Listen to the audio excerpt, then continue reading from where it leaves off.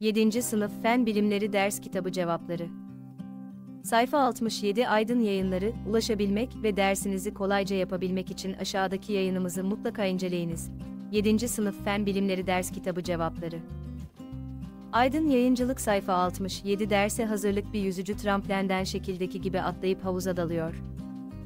Bu sırada hangi enerji türlerinin varlığından bahsedebiliriz?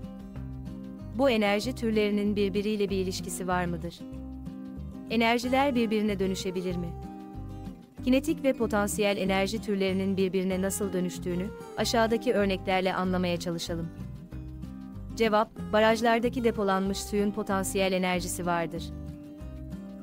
Bu potansiyel enerji su serbest bırakılınca hareket enerjisine dönüşür ve elektrik üreten öneratörlerin dönmesini sağlayarak elektrik enerjisine dönüşür.